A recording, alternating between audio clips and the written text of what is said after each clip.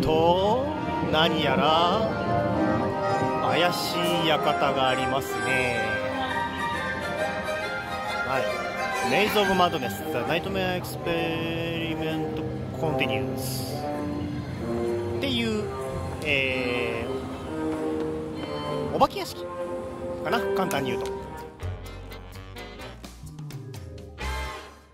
ほい、えー、どうやらこれがハロウィン限定アトラクションのお化け屋敷のアトラクションらしいです、えー、実はもうすでに行ってあるんだけどね。行ってみようと思います。ただ中は撮影禁止だそうです。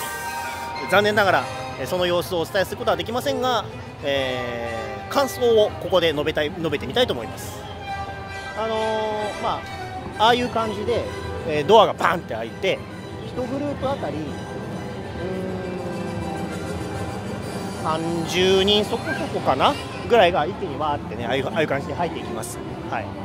であれが1グループで1ショーとなります。で1回のショーが大体15分ぐらい。で場面ごとに分けられたウォークスルータイプのアトラクションになりますのでうーんとユニバーサル・スタジオにあるような、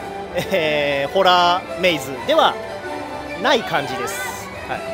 い、でまあ場面ごとにいろいろと、えー、ホラーカスタマイズされたディズニーのキャラクターたち。例えば、えー、血のりが塗られたピノキオとか、えー、怖めのキャラクターだよね、えー、あとはなんだ？出てきたのは、えー、俺が覚えてる限りではハデス。ヘラクレスの悪役のハデスとか、えーと、マッドハッター、ね。えー、アリス・インナイトメアかな？ぐらいの感じのマッドハッターとかが出てきたりしました、はい。えー、香港ディズニーランド、ね、あのここ数年こういう感じでホーンテッドメイズホーンテッドアトラクション、えー、ホラーアトラクションやってるみたいなんでちょっと気に入りましたんで余裕があればまた来年のホーンテッドホーンテッドアトラクションも体験しに来てみたいかなっていう感じではあります。はい、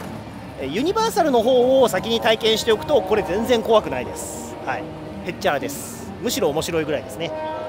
まあ、ともあれ期間限定とはいえこういったアトラクションを作れるっていうのは非常にねこの香港の強みフットワークの軽さが出てるんじゃないかなって思います。